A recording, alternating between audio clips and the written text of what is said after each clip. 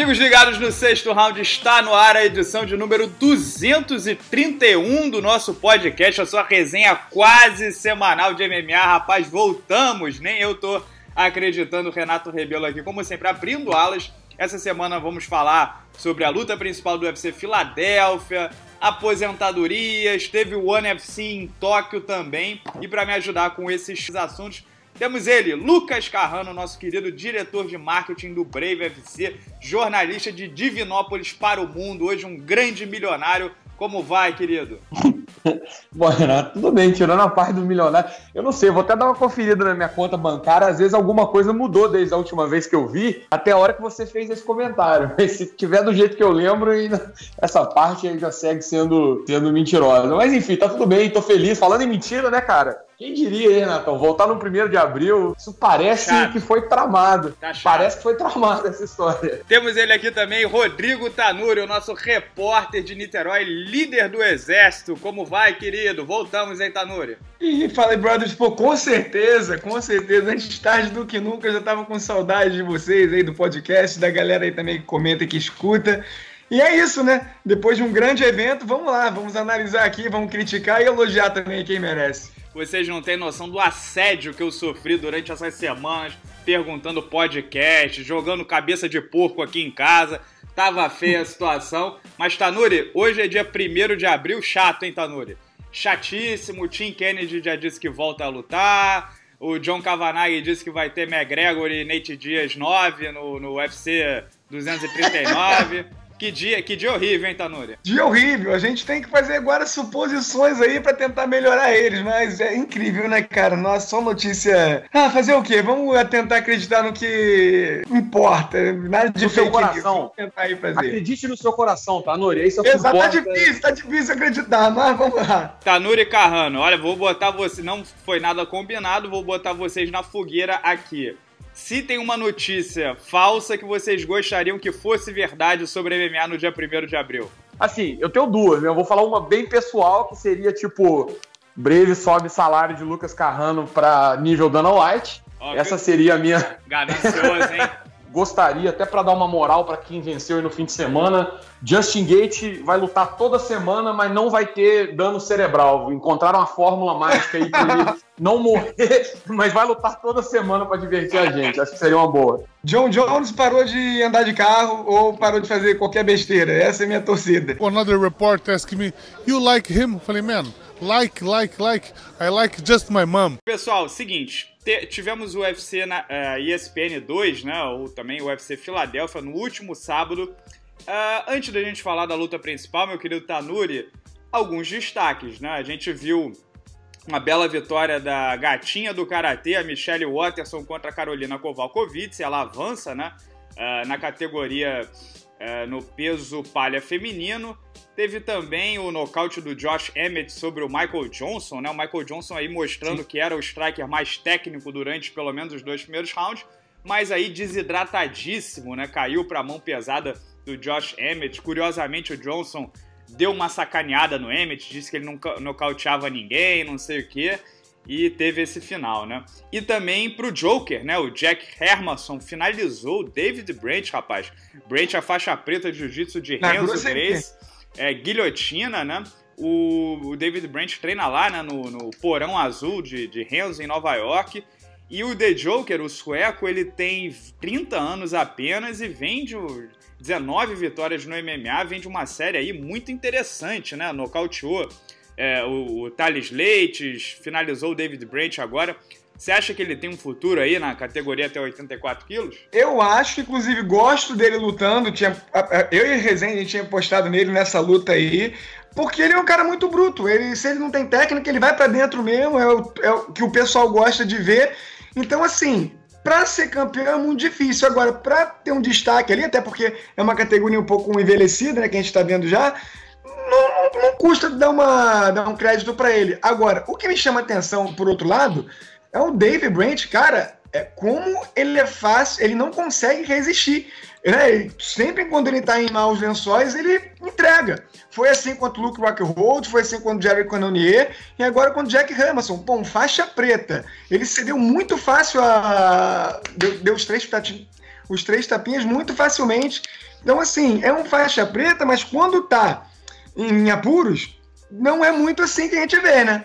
Então isso fica, fica só essa crítica aí, porque é um cara que já tem uma certa idade e perdeu agora, né? Para dois caras que não, nem são tão reconhecidos assim, como o Jared Cannonier e o Jack Hamilton, então vai cair com certeza alguns degraus no ranking merecidamente. Você está dizendo que David Breit bate como um leão e apanha como um gatinho? Com certeza, já disseram tantas vezes isso do Overeem, né?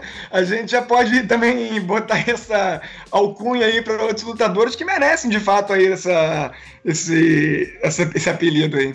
Meu querido Carrano, na luta principal a gente teve Justin Gate e Edson Barbosa, começando pelo brasileiro, né, que teve sofreu um nocaute pesado aí uh, nas duas lutas que ele teve contra wrestlers superiores, né, o Habib, o Nurmagomedov e o Kevin Lee. Eu tinha citado num vídeo meu que ele meio que parecia que tinha atingido um teto nessa categoria, né, porque caras com esse set de habilidades, né, principalmente na luta agarrada, o dominariam, né? Isso ficou provado porque ele levou duas surras, né? Tanto do Habib quanto do Kevin Lee. E agora a gente vê ele nocauteado por um cara que não é é um wrestler, né? Um wrestler all American, é, duríssimo, mas que esquece o wrestling no MMA, né? Um cara que foi trocar a mão com ele e o nocauteou. Você acha que o Edson Barbosa, ele realmente, a gente viu até onde ele pode chegar nessa categoria, ele vai sempre ser top 5. E isso não é, de, é, descrédito, né? Porque ser top 5 da categoria mais populosa do maior evento de MMA do mundo é muita coisa.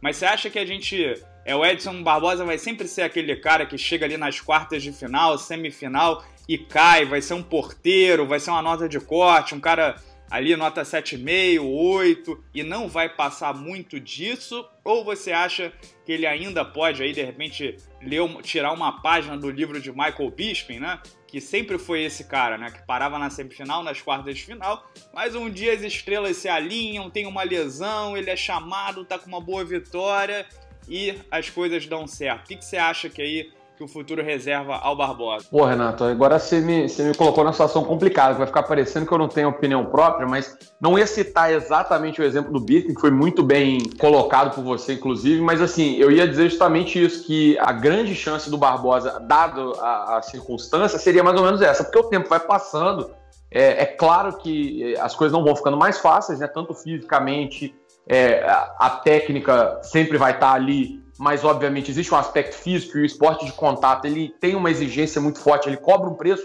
muito alto, né? É difícil o cara se manter naquele mesmo nível ali durante muito tempo, porque a, a exigência de treinos e também o desgaste natural, quando você vai sendo nocauteado, vai, enfim, vai perdendo lutas, é, realmente esse preço todo mundo vai pagando. É, e, e, a grande chance do Edson Barbosa é essa, porque notoriamente ele é um cara que vai ficar ali pelas cabeças. Embora é, eu também ache que realmente, olha, é, vai, vai enfrentar um adversário às vezes muito perigoso, a gente já vai começar a olhar com esses olhos de, pô, cara, há uma chance real ali, e não só no wrestling, né? Acho que abriu um pouco o horizonte aí de que se ele for pro fecha o olho e roda o braço, a, a chance de, de, dar errado, né? Jogar moeda para cima nunca é uma boa estratégia. O, principalmente quando ah, tem... E tem o lance da autoestima, hum. né? De você às vezes duvidar de você mesmo. Muita gente claro. fala do, do queixo do Edson Barbosa, né? Da capacidade dele resistir a golpes. Mas ele, assim, tirando a luta com Kevin Lee, né? Que ele foi TKO no chão, né? No ground and pound. É, tirando essa luta, ele não levava um knockdown no UFC há, há, quase cinco anos, né? Que foi a luta com o Donald Cerrone que ele levou o último knockdown. É, então, assim, você acha justo o pessoal sacaneando ele, chamando ele de Edson Queixosa e tal? É, ele é um cara que vem do Muay Thai, né? Treina desde a da infância e tomou muito golpe, absorveu muito golpe a vida inteira, principalmente dentro da academia, né? Então, o cara que treina Muay Thai desde a criança fazendo sparring, lutando no Campeonato Brasileiro, é um cara que já tomou muito golpe na cabeça. E isso pode ter acumulado. Eu, inclusive, citei no meu vídeo que a diferença do vencedor pro perdedor dessa luta foi basicamente a resistência, né? Porque o Barbosa chegou a acertar o queixo do Justin Gate umas duas ou três vezes de forma limpa e o bicho nem se mexeu, né? Um verdadeiro Homer Simpson ali, uma, uma pedra, né? Mas você acha que esse problema de resistência é um problema crasso no Edson Barbosa, que, que pegou é, é Michael Johnson, Tony Ferguson e não foi nocauteado? Ou você acha que é mais o Justin Gate mesmo, que pega muito pesado e não tinha outra saída ali? Eu acho bastante injusto até assim colocar de maneira, sabe? É claro que, que a gente entende também que o, o cara que tá torcendo, que tá acompanhando, ele vai exagerar um pouco as coisas para poder, enfim, valorizar, seja pelo humor, seja para poder justificar seu ponto de vista. Existe essa tendência realmente aí para hipérbole, mas os números eles não dão é, razão a isso. Embora haja, houve essa diferença com o Justin Gates, não quer dizer que é qualquer pessoa que chegar ali encostar a mão e o cara vai abrir, vai... Não, não é assim, cara. O Edson é um cara que tem um histórico absurdo na trocação, né? Já vem não só é, tomando muita pancada, mas deitando muita gente há muito tempo. É, o que eu acho é realmente isso, assim, é um, o nível de competição é muito alto, é a categoria mais difícil, mais profunda do esporte você tem muito atleta de altíssimo nível que vai se renovando sempre, né? Ele tá aí há um bom tempo, chegou a enfrentar gente de diversas gerações, vai pegando, pô, wrestler de altíssimo nível, um cara que tem um queixo muito duro como o Goethe, embora também já tenha dobrado o joelho em outras oportunidades, mas que tem um queixo muito duro e aceitou esse jogo é, franco, que é, é uma loteria. Então, assim, todos esses fatores vão se combinando. Eu acho que não, não chega, não é um negócio preocupante, falar, pô, o cara tá, basta encostar, aquele, isso, isso eu acho injustificável. A grande questão acho que é mais essa, assim, o Edson é um cara que tá ali no topo da categoria, para chegar e falar, pô, vai ser campeão um dia, é, é, é, teria de ser uma convergência de, de fatores muito grande, mas tirando isso, não tem demérito nenhum. É um, é um atleta do mais alto nível que vai fazer boas lutas com gente da parte de cima. Eu só acho também realmente que é, é aquela expectativa toda de que, pô, o próximo campeão brasileiro e tal, acho também é hora de dar uma. rever isso e tentar, quem sabe, dar um passo para trás, analisar com um pouco mais calma é, qual que é o momento que realmente não é para isso. E, e curiosa, assim, o Edson Barbosa teve uma noite ruim no sábado, né? Mas ele pegou o avião e no domingo nasceu sua filha, né? A sua esposa Bruna estava grávida e teve uma filha no dia seguinte, então já pelo menos já deve estar feliz essa hora. Diga, Tanuri. Posso ser um pouco mais crítico quanto ao Edson Barbosa? Lá vem, lá vem. Não, porque, pra tá falar a verdade... que eu sou isentão, Tanuri? Nada, não. Você, isentão, que eu tô passando tá pano? Não, eu vou ah. embora, eu vou embora. Aí, Carrano, tá te tirando pra Geraldo Alckmin? Porra, picolé de chuchu não, cara, me ajuda aí, porra. Porque eu vou te dizer, eu acho até que a posição do Edson Barbosa no ranking dos leves é um tanto quanto enganosa pra mim. Eu tô até aqui vendo o ranking, ele tá na sexta posição não consigo ver com esse status. Até porque, se a gente parar para ver as recentes lutas dele, foi derrotado de forma né, brutal contra o Justin Gates. Já havia sido pro Kevin Lee, pro Khabib Nurmagomedov também.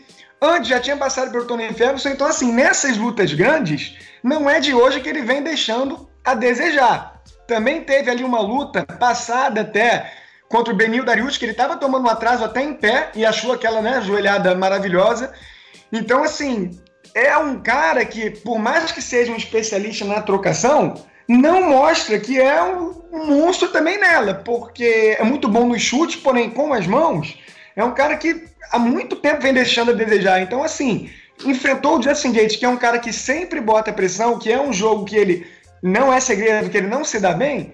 Então, acho que não teve muito mistério nesse resultado. Então, assim, é um cara que eu gosto de ver lutar, é um cara que a gente pode esperar lutas empolgantes, porém, em grandes lutas, já deu para sacar um pouco que, infelizmente, não dá muito pro, pro nosso querido brasileiro aí. E o Edson Barbosa chegou também a trocar de equipe, né? Ele saiu ali do Ricardo Cachorrão com o Mark Henry em Nova Jersey e foi para American Top Team tentar dar uma repaginada na carreira, mas aí segue parando nas semis, né? O principal problema, né, dessa tenha sido realmente a estratégia. Não dá para saber até que ponto é a estratégia que veio do camp ou é a estratégia que se colocou ali e o cara não conseguiu sair, porque às vezes tem muito disso também. O maluco treina dois meses pensando em fazer uma coisa, chega lá, acontece um negocinho um pouco diferente, ele sai fora de zona, não consegue se situar e acaba e ele atraído. Que legal, né, Carrano? Para dentro, exatamente. E acaba atraindo para uma situação desfavorável. Mas peraí, peraí. E a dedada? E a dedada? Teve uma dedada do Justin Gate no olho do Edson Barbosa que incomodou, né? O Edson Barbosa ali nos, Foi, nos bem momentos visível. finais ficou piscando, então acho que, que era no contest, Barbosa venceu essa, Carrano. Chama o VAR. Chama o VAR. Não, mas então, eu acho que a, a estratégia nesse ponto também foi muito. É, é, talvez seja o principal ponto, assim, para se destacar negativamente. Seja, como eu falei, voluntariamente eu tenha sido atraído para isso, é, é, o, o, grande calvário aí do, do, Edson Barbosa é isso. Assim, eu apostei no Edson, né? Eu, é assim, meus palpites não servem de base para nada porque eu sou uma bosta, né? Se for olhar lá, eu não tô nem aparecendo no Instagram, mas de tão ruim que eu sou, o Renato me cortou do negócio. Olha, com medo de perder meu lugar. Eu, eu no, nessa, no, no nessa, podcast. nessas horas eu teria uma zoação engatilhada aqui, mas minha situação tá tão, tá tão triste que eu, vamos evitar. tem nesse evento. Vamos evitar esse assunto. Mas... Vamos voltar pro Edson Barbosa, por favor. E, e aí eu achei que, pô, eu apostei nele porque eu acreditava que ele fosse impor um jogo mais técnico, né? Evitando é, é, o infight com o Justin Gate, que era justamente ali o maior risco em pé que ele teria. E eu fosse conduzir a luta aí, talvez por até cinco rounds, mas para levar melhor no volume. E, porra, assim que o negócio te ofereceu, ele curte, falou assim, meu irmão, quer saber de uma coisa? Curte um volume, cara? porra, tá vendo? Você não quis zoar o, o, palpite, mas o resto tá liberado. E aí ele foi pra porrada, né, cara? E aí é isso, é o que eu falei, é faca no dente, moeda pra cima, deu, deu ruim. Gostei dessa expressão, faca no dente e moeda para cima. Mas vamos falar aqui também do Justin Gate, né, Tanuri? Porque é o seguinte, é uma coisa que eu sempre digo aqui, venho batendo na tecla nos últimos anos, é que numa categoria tão parelha, né, com tantas valências diferentes e tantas qualidades, quando você chega ali no topo da montanha, né, no creme de la creme, é tudo uma questão de dia, de encaixe, de como foi o camp, tá com dor de barriga, dormiu bem. São apenas detalhes que podem decidir a vitória e a derrota, né? Tirando contra campeões daqueles históricos, né? Um John Jones da vida, um Jorge St. Pierre, um Demetrius Johnson, um Anderson Silva, caras que conseguem transpor a maior, qualquer é, é, valência diferente, técnicas de adversários e serão favoritos independente de quem tiver contra eles, né? Tirando esses históricos, que eu não sei se o Habib já está nesse patamar ainda, é, eu acho que ainda não, essa é uma opinião minha, apesar de ser né, o melhor peso leve do mundo. É, é tudo uma questão de encaixe de jogo, de casamento e tal. E aí o pessoal, é, como eu venho martelando isso, o pessoal já fez logo a associação, né? No meu vídeo pós-luta eu, eu, lembrei que o Justin Gate é um wrestler colegial, ele foi um fenômeno no nível do, do, do ensino médio, né? Da high school americana, muitas vezes campeão, campeão nacional, e se esperava que ele fosse realmente um furacão é, no, no, na universidade. Ele não foi. Ele foi um wrestler All-American, né? É, entre os oito melhores da categoria dele, o que é um baita feito. A comparação porca que eu faço é ser All-American mais ou menos ser como um time classificado para Libertadores na Série A do Campeonato Brasileiro. Na verdade, é muito mais difícil do que isso, porque tem 20 times na Série A do Campeonato Brasileiro e tem uma penca de, de garotos competindo, né? Mas então, ele foi um desses melhores da categoria dele, mas se esperava que ele pudesse ser ainda mais. Então ele foi um baita wrestler colegial, só que ele, assim como o José Aldo deixa a faixa preta dele fora do octógono, ele não usa, ele se recusa a usar o wrestling, ele gosta de porrada, ele, ou ele cai ou alguém cai. É, o cara é meio psicopata, né? O Paul Felder disse pós-luta isso, que para lutar com ele tem que ser meio psicopata. Você pode até vencer, mas você vai sair mancando, cuspindo sangue, mijando é, é, sangue também. Então é um cara muito difícil de você bater, você tem que ter a noção que você vai sair bem magoado. E o pessoal já fez esse encaixe é, automático, né? Bom, se ele foi um baita wrestler, ele tem essa mão que derruba, ele tem a resistência do Homer Simpson, o cara é um, parece uma, uma estátua ali de, de, de, concreto, né? Será que ele é um bom casamento com o Habib? Ele é o cara para vencer o Habib? Porque a gente já viu a, a luta mais difícil do Habib até hoje foi exatamente contra o Gleison Tibal. Por quê? Porque é um cara muito bom, muito forte, né? muito grande para a categoria. O Justin Gates também é forte e grande para a categoria. E é um cara que tem um wrestling muito bom. Para quem não sabe, apesar do Gleison Tibal não ter pedigree no wrestling, ele é o cara com maior taxa de quedas da, da, do, do peso leve, né? Não sei se da história, mas pelo menos quando ele estava ativo era o cara que tinha mais feito quedas no peso leve. Então, é, o Habib teve muita dificuldade com a força, com, com, com a base do Gleison Tibal e foi uma luta de clinch ali, ele não conseguia botar para baixo. Então, de repente, será que o Justin Gate, evitando essa queda e botando uma O Habib não é um, uma grande, um grande técnico em pé, né? O boxe dele não é polido, ele é um cara rústico, ele tem uma mão pesada, joga, mas o boxe dele é só para te confundir para ele entrar em queda se o, o Justin Gate for um cara que ele não conseguir botar para baixo na hora de trocar a mão de repente a mão do Justin Gate é mais pesada e o queixo é mais resistente, será que esse é o cara para vencer o Habib Nurmagomedov? Justin Gate disse pós-luta que acha que ele é a maior ameaça ao trono do Habib. Carrano, eu vou deixar minha opinião no final. Você acha que o Justin Gate, uh, de repente, por exemplo, que eu estou deixando bem claro, de repente ele não, não é o cara para vencer o McGregor ou o Tony Ferguson, porque de repente não encaixa tão bem. Mas ele é o cara que pode vencer o Habib? É um dois. É um dois, inclusive, é. eu acho, né, inclusive eu acho que o wrestling dele só vai ser realmente visto contra quando a exigência for realmente muito alta, que é o caso do, do Magomedov.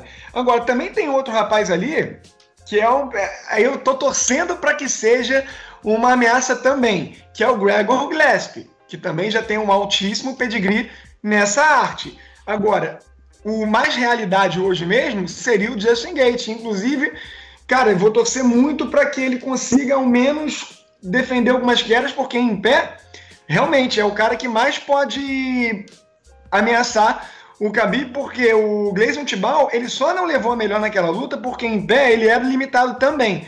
Porque até gente, tem pessoas aí que acham até que ele levou a melhor naquela luta e que foi, não vou dizer um garfinho, mas que também poderia ser é, dada a vitória para o brasileiro. Então, assim, se ele fosse um pouquinho melhor em pé, capaz que a história pudesse ter sido outra, né? Mas o, com certeza, o Justin Gates aí, para mim, hoje seria assim o cara mais duro pro Khabib enfrentar nessa categoria, né? Nessa categoria. É, a gente, eu não sei se a gente tá considerando o Tony Ferguson, que ele tá nesse limbo, né, cara? É complicado, até a situação dramática aí que, que vive. Vive um drama. Cara, eu acho o, o jogo do Justin Gate, assim, realmente, no papel, é um dos que seriam, assim, teoricamente ideais. Não, não digo que, que venceria, não acho que seria favorito, inclusive, mas é, é, um cara que tem um jogo. Porque, assim, uma das, é, é, uma questão de estratégia, né? Quando você vai bater um cara duro, como o Habib, que nunca perdeu na vida é, e que já venceu adversário de todos os tipos, você tem que ter uma estratégia muito clara. E pro, pro Gates seria basicamente defender alguma queda, né? As investidas, e quando chegar perto ali, tentar trazer o Habib para dentro. O Habib não é um, um, trocador polido. Ele também, quando vai para usar as mãos, é sempre na, na base da ignorância. E nisso, o, o Justin Gates já mostrou que leva vantagem. Então poderia ser um jogo, ia depender muito realmente da defesa de queda dele, como que ele ia conseguir resistir ou não a, a esse momento do, do Habib, que eventualmente, se chegar perto, vai botar para baixo, vai chegar e vai, é, pelo menos, tentar com, com muita chance de botar para baixo mas é uma estratégia muito boa. É, é o que muita gente falava é, sobre outros campeões muito dominantes também, né, cara? É, é, a, é defesa de queda e mão pesada. É uma, é uma, uma combinação aí que pode ser fatal para quem tem um jogo muito dominante por cima, bastante queda é, e muita pressão no, no ground and pound. Então pode ser uma, um, um, estilo né, que, que pode ser bastante complicado. Eu acho eu também botaria minhas fichas. A julgar que o Tony Ferguson pode nunca ter essa luta, né? Depois que já casaram tantas vezes e até um cabo da,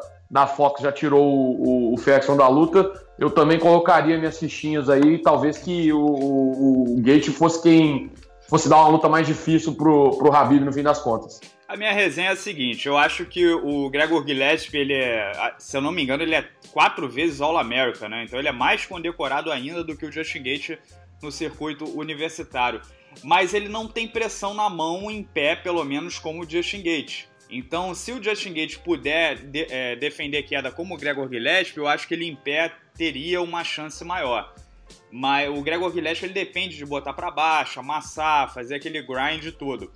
Mas eu acho o seguinte, é, eu acho que o, por exemplo, eu acho que o Justin Gate não casa bem com o Conor McGregor. Eu acho que não é uma boa luta para ele. Por quê? Porque assim, ele se recusa a botar para baixo, ele quer trocar porrada. E uh, ele, ele, depende, ele aturou a mão do, do, Edson Barbosa, que entrou e ele engoliu. Agora, ele caiu pro Dustin Poirier. Ele foi nocauteado pelo Ed Alvarez, que foi uma joelhada, na verdade, né? Então ele é nocauteável, ele não é o super. É, o super homem de, de, de, de aço, né? Então eu acho que ele, por exemplo, a mão esquerda do McGregor talvez seja o golpe mais pesado singular que tenha nessa categoria. Eu acho que ele receber limpa no queixo a mão esquerda do McGregor, eu acho que ele não, não sobrevive a ela. Eu acho que o McGregor nunca vai vencer o Habib. Eu acho que é um jogo que não casa. Mas eu acho que, por exemplo, o, o Conor McGregor é uma luta pior pro Justin Gate do que o Habib. Então, porque na teoria ele pode defender queda e botar aquela mão dura.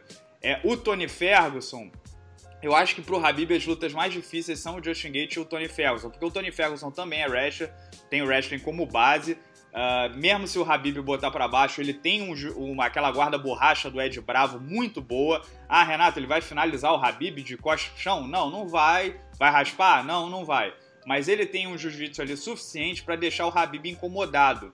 O Habib não vai... vai cansar, né, Renato? Também tem isso. Não, esse é o último ponto. É, o Habib vai bater o ground and pound ali desconfortável, sem poder se soltar tanto quanto soltou contra o Michael Johnson, o Edson Barbosa, por exemplo. Então, que ele tiver 10, 20% ali um pouco mais contido, já faz uma grande diferença. E o último é a capacidade cardiovascular. O Tony Ferguson é impressionante. Ele é um lutador de longo prazo, um maratonista, o um cara que nada maratona aquática, né? Então, é, é, você tá cansando no segundo pro terceiro round, ele tá acelerando.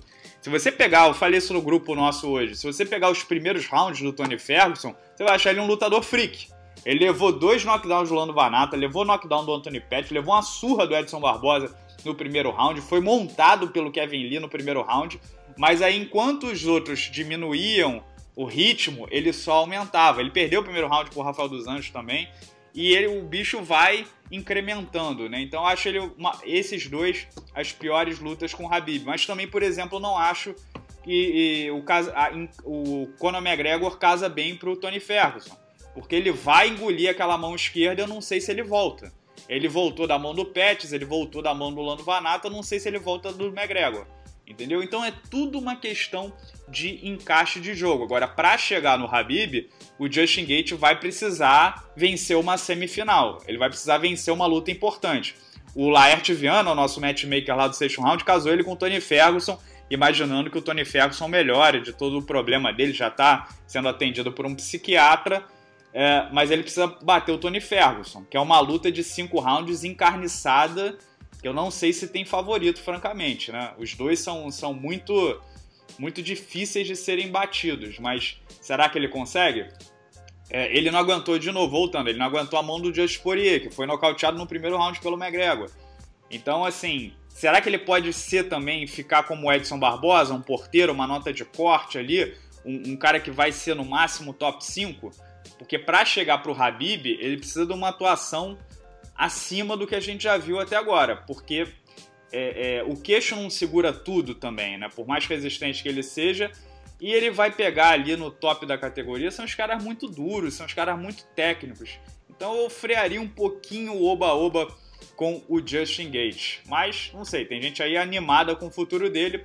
Vamos ver o que acontece. Tu vai falar assim com tua divisão comigo ou não vai falar assim, maricão? Comigo vai, vai falar com tua divisão assim, ô palhação. Pessoal, teve no, no, no, no, fim de semana também, no, foi no, no Japão, né? Então foi, na, na verdade, na manhã do domingo, o One Championship 92, né? Que teve exatamente o Ed Alvarez, que a gente falou que nocauteou o Justin Gate, estreando com derrota, rapaz.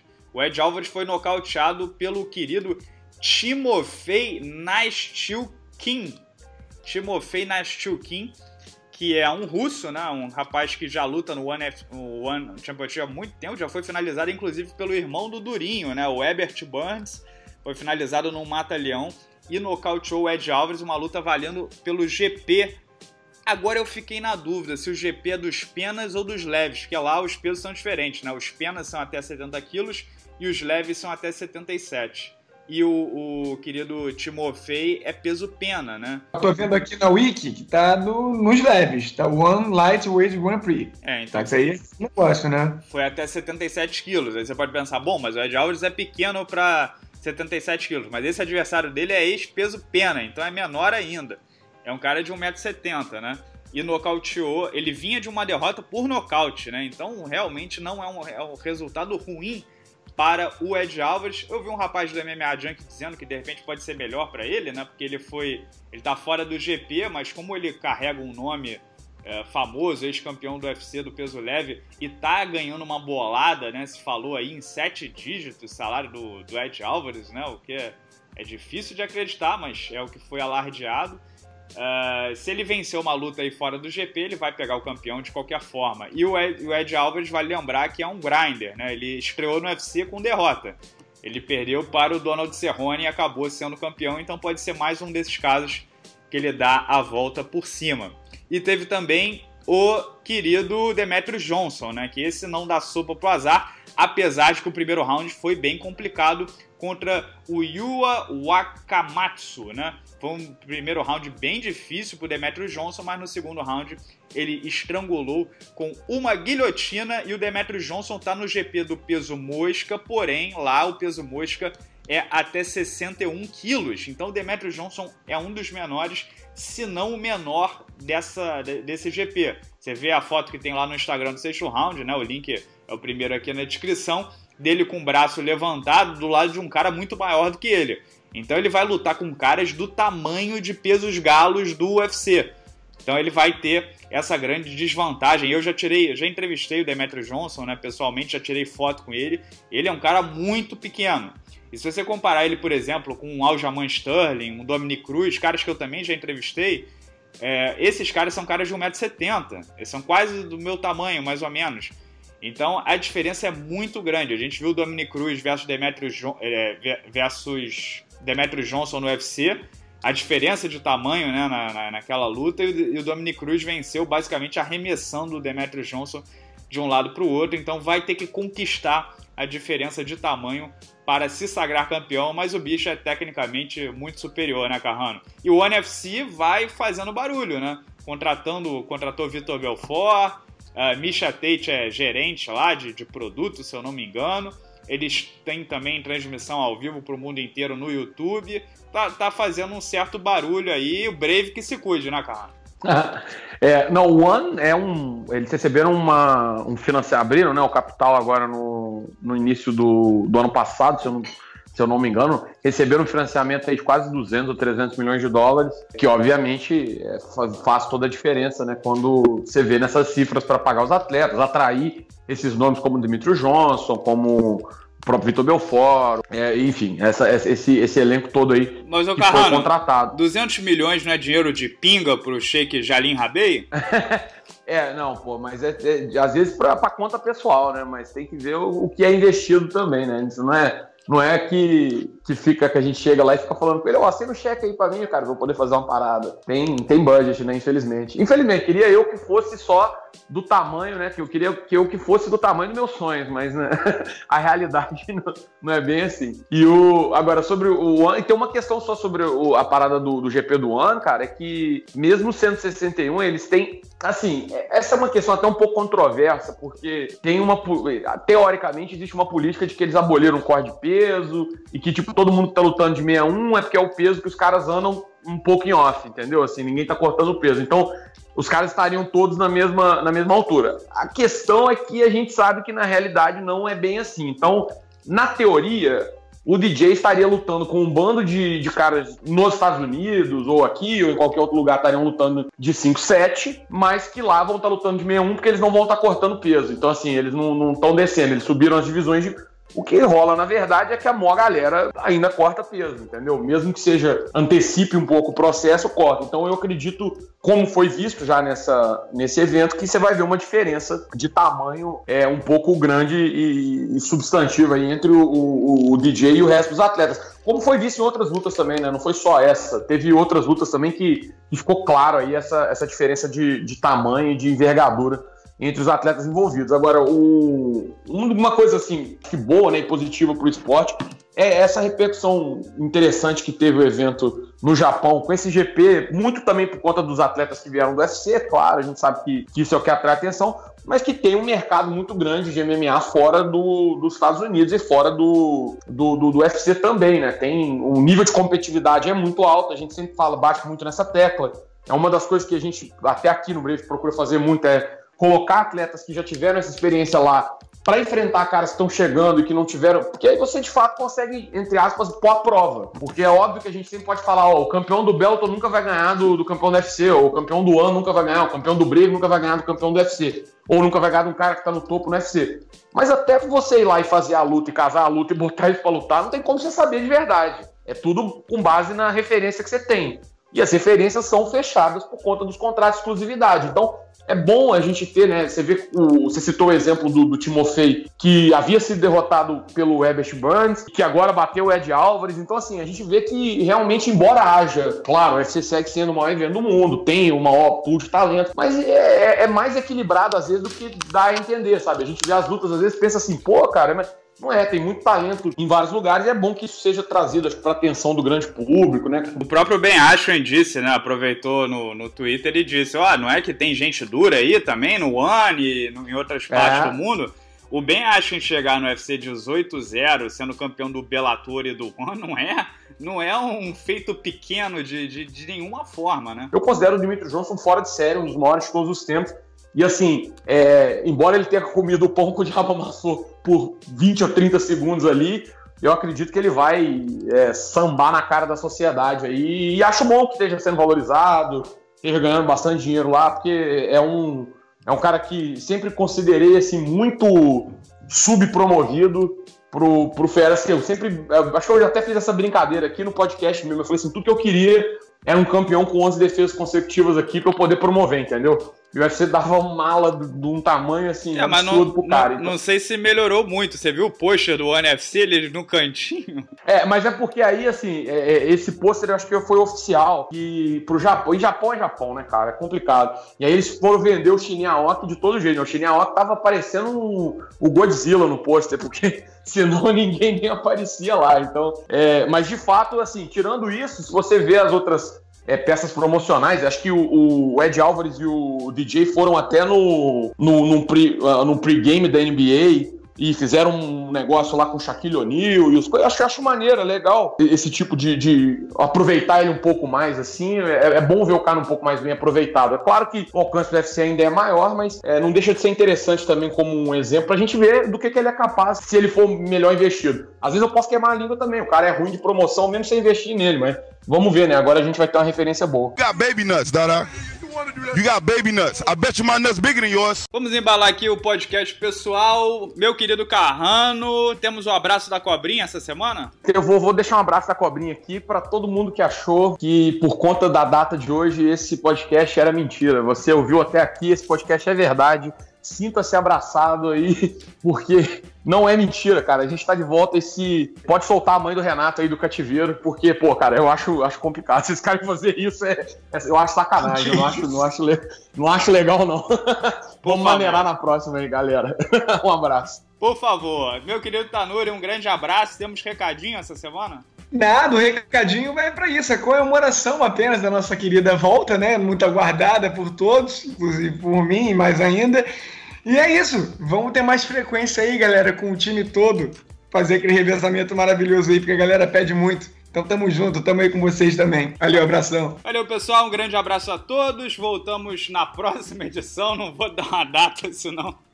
Aí, aí, gente. Próximo fim de semana não tem evento, né? No outro vai ter o UFC 236, né? Dustin Poirier e Max Holloway. Tem também o Adesanya com Kelvin Gastelum. Então a gente volta na segunda-feira após o UFC 236. Se inscrevam no canal do Sexto Round. Estamos chegando a 100 mil inscritos. Capaz, tem quadro novo aqui também. Quem sabe se quando chegar nos 100 mil uh, teremos novidades com podcast. Enfim, descubram, descubram e compartilhem. Um abraço.